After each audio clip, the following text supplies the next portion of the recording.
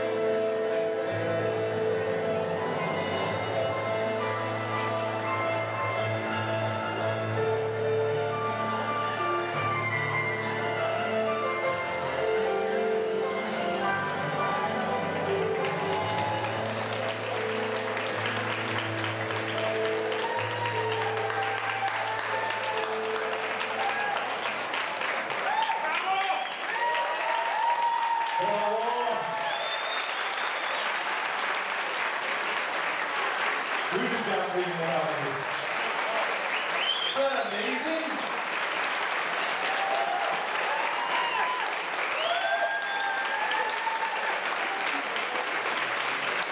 Please give it up for Miss Nadia